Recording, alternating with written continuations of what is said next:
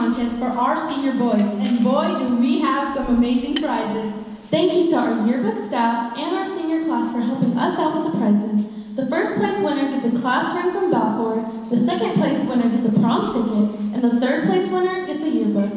Wow, those are some really good prizes. After three years of not being able to showcase Mr. Heritage, we're happy to be back. Wow, it was that long. COVID really messed things up. Yeah, it really did. I cut my bangs, and then I dyed my hair, and then I grew it out, and then I dyed it again, and then I cut it again, and then I let it grow out again, and then I just decided to chop it all off. Oh, wow. Okay, well, how about that dress of yours, Fatima? It looks stunning. Thank you, I got it at Macy's. But our boys will look even more stunning in their suits, courtesy of Men's Wearhouse. Oh yeah, you're right. The crowd is gonna fall in love. With that being said, let's get on with the show and not keep our handsome guys waiting. The first performance, it was choreographed by your very own co-host, Victoria de la Cruz, with the help of from Keaton Singleton, Sierra Cisneros, and Christina Diaz. So please give a warm welcome to your Mr. Heritage contestants. They're ready to bring sexy back.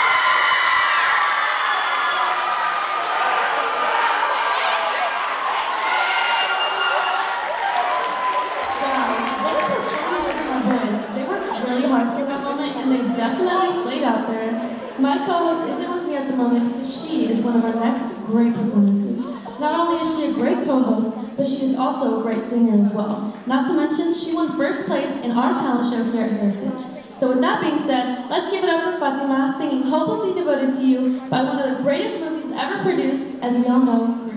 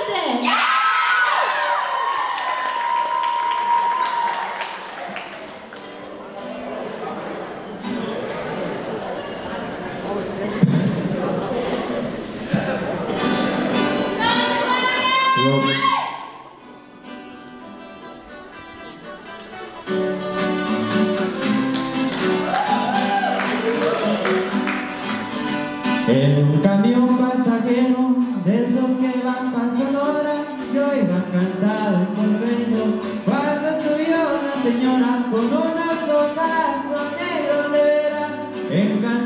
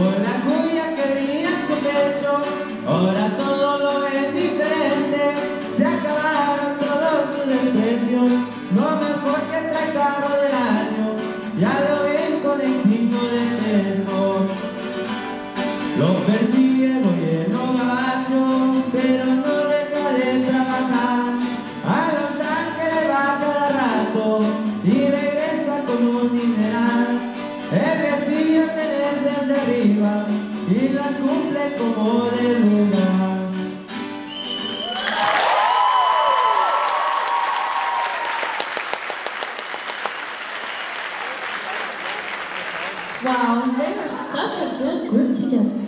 I know, right? I would totally go to one of their concerts.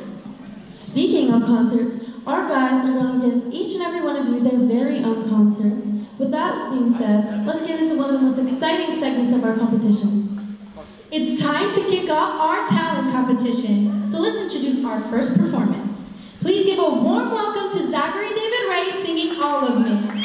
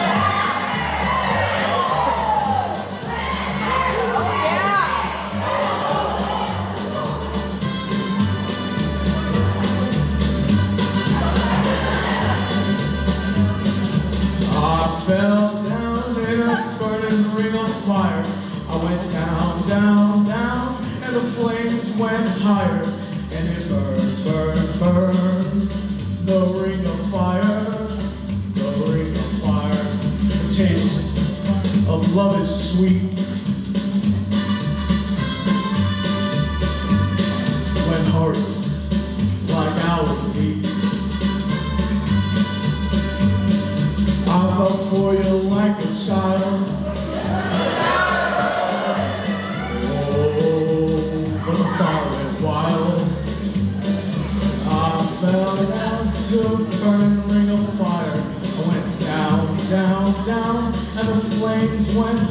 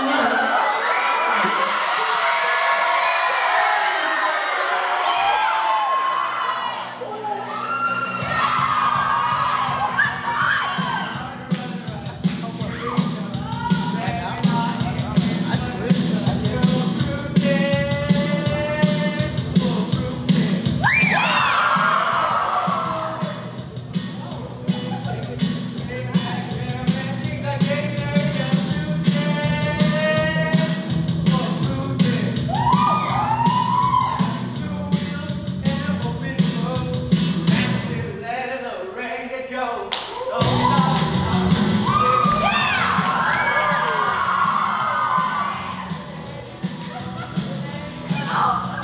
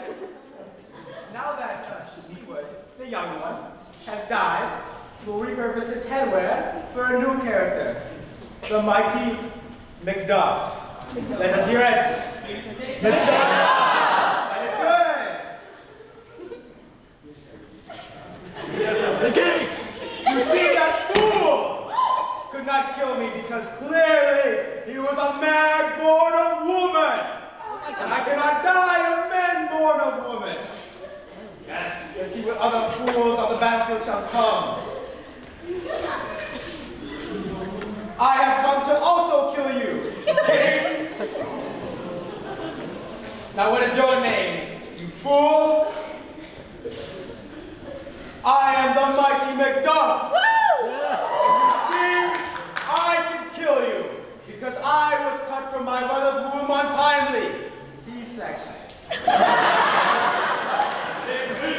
well, Macduff, let us ensue with our duel. We shall. Yeah!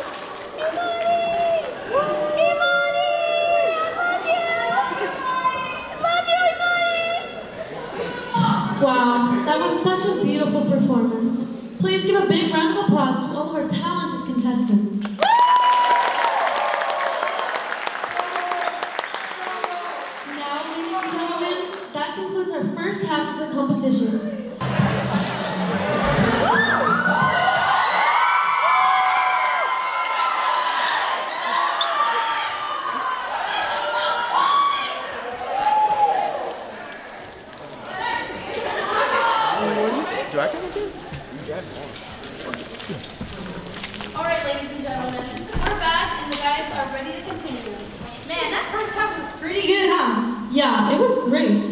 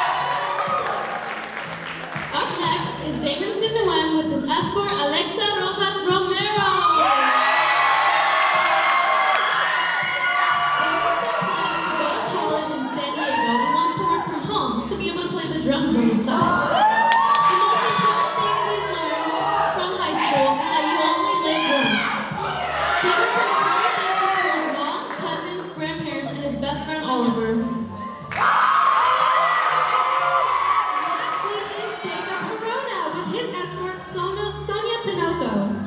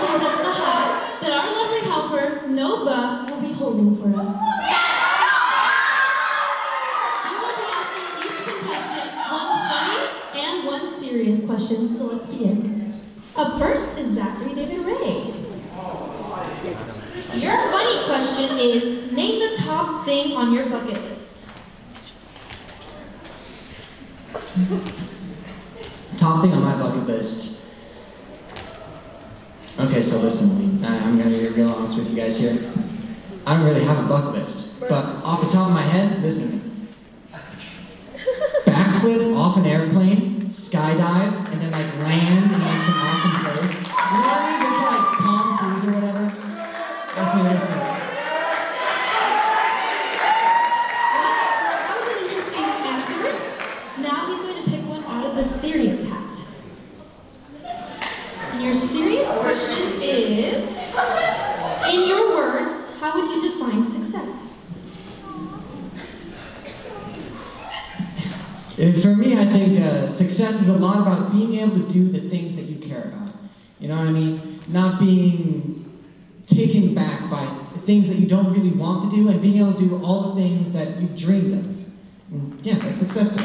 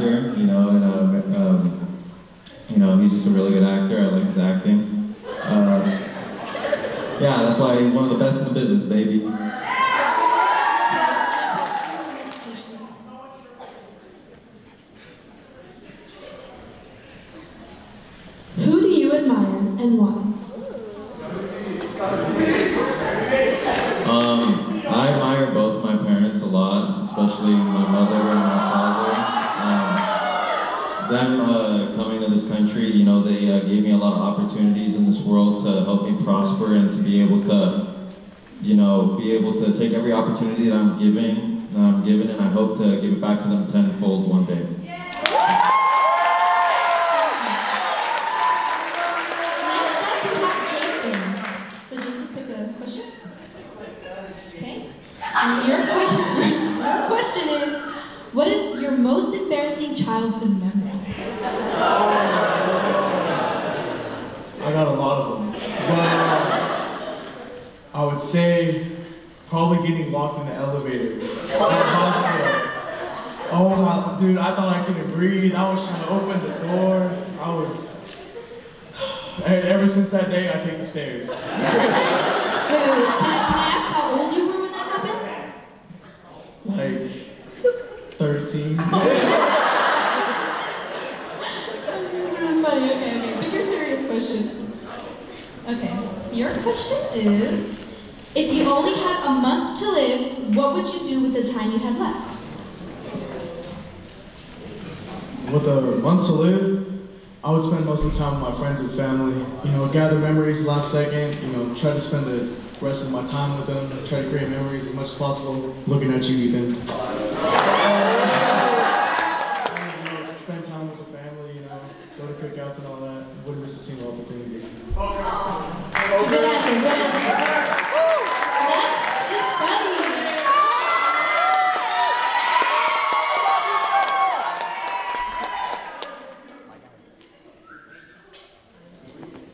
What's the you've? The dumbest way I've been injured was probably tonight. I tried to do the splits and I did not land. That sounds painful.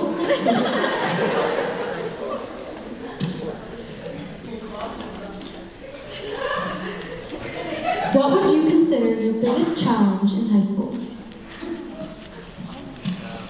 My biggest challenge in high school was definitely opening up to new friends. Um, as you guys know, I went to Orange Vista my freshman year, and uh, obviously COVID happened, so I wasn't able to make any friends. And my junior year, luckily I met my best friend Alice. Uh, she's not here tonight, but if she was, I'd like to give a special I was gonna she's in the crowd. I'm sorry. but uh, yeah, definitely opening up to new people, and I've been given uh, opportunities uh, to enjoy high school now. So I'm thankful for that.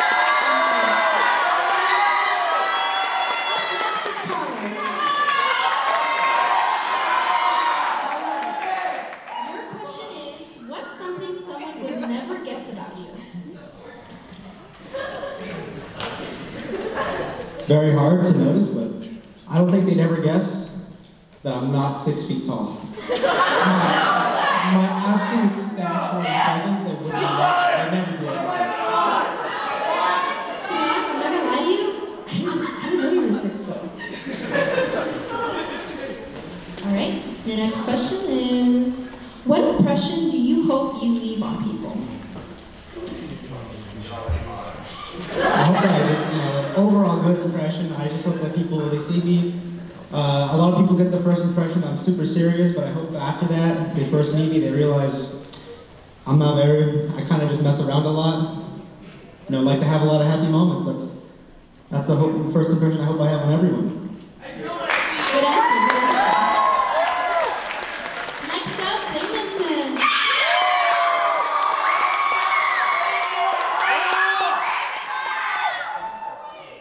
What's your ideal perfect date?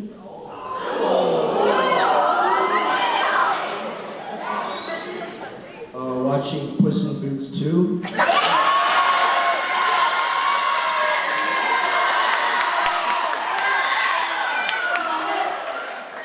next question.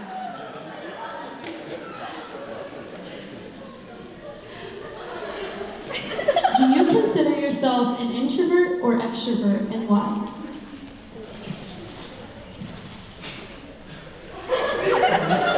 Both.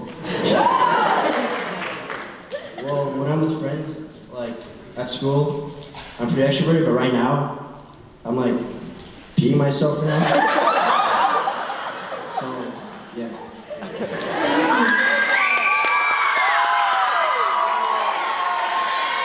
And lastly, we have Jacob.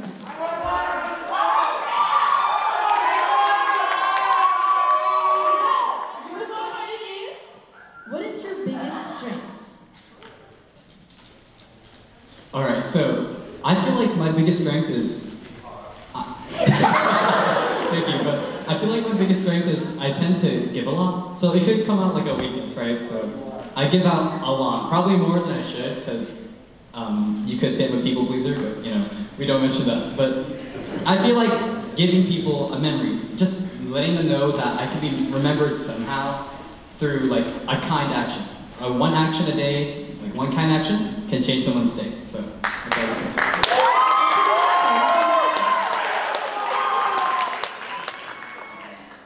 All right, your next question is, what three adjectives describe you?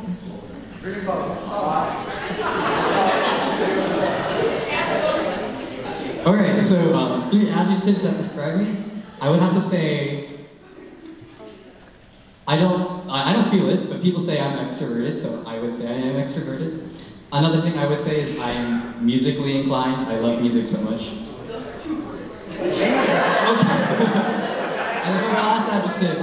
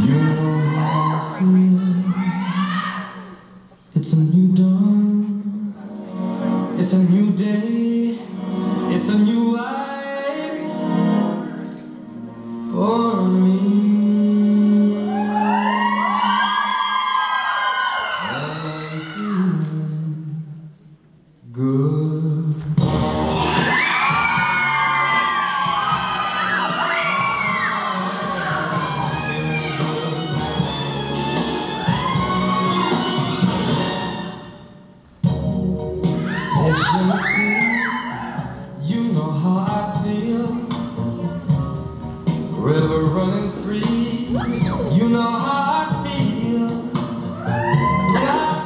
On tree. You know how I feel. It's a new dawn.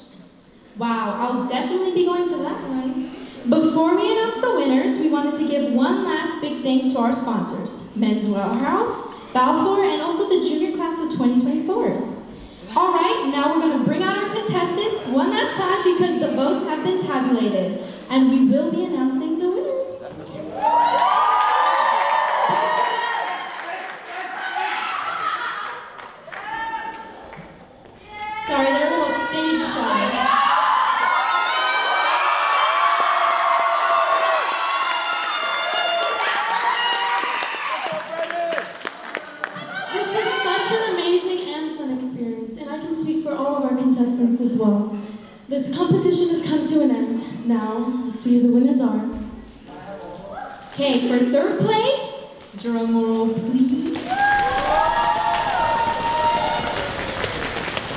Jacob Corona!